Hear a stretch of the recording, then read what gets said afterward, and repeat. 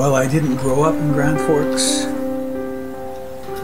I had an interesting, nostalgic feeling when I would have breakfast in the GF Hotel's restaurant.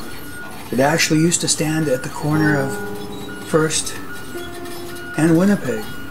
I grew up in Winnipeg. When I'd have breakfast in the Grand Forks, not only was the breakfast good and nourishing, but it was also nourishing on a spiritual sense. For the older Grand Forks restaurant reminded me a lot of some of the places in the area that I grew up. It seemed like long ago. And those memories are so old that I'd have to have a cue. And if I went to the GF, I would get there.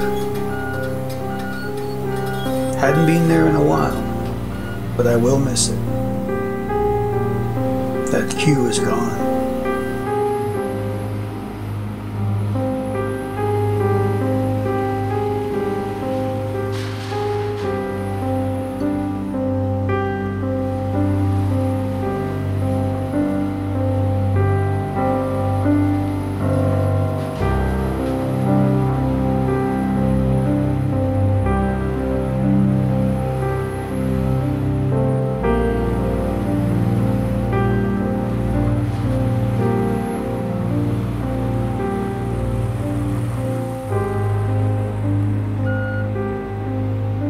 Some might wonder why I'm doing this ode to a seedy old hotel.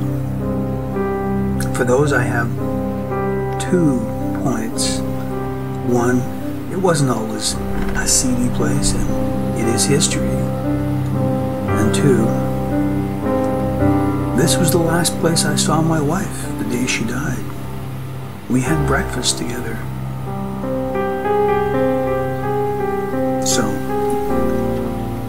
holds a special place in my memory.